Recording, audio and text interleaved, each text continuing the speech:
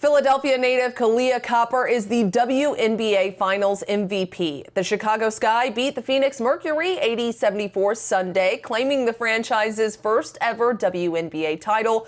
Copper was a force in the first few games of the finals, but was limited to just 10 points and two rebounds in the deciding game.